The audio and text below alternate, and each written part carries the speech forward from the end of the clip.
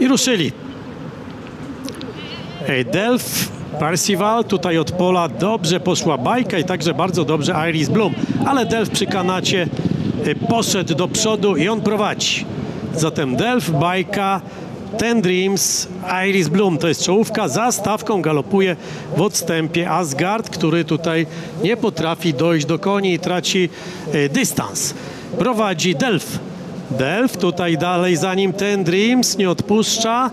Jest tam także Iris Bloom i jest tam również e, Bajka w tej chwili na trzecim miejscu w mocnym posyle. Ale na prostą wyprowadzi Parsival, będzie atakowała go Ten Dreams. Te dwa konie, Parsival, Ten Dreams, jeszcze do celownika ponad 400 metrów. Dobrze na wacho, tutaj finiszuje od pola. 350 metrów do celownika. No zaczyna Delf nieco słabnąć, skrócił akcję. Kapitalnie Nawacho przyspieszył i Nawacho obejmuje prowadzenie. Czy do celownika 150 metrów. Nawacho, za nim ten Dreams i słabnący Delf. Jeszcze tam walczy.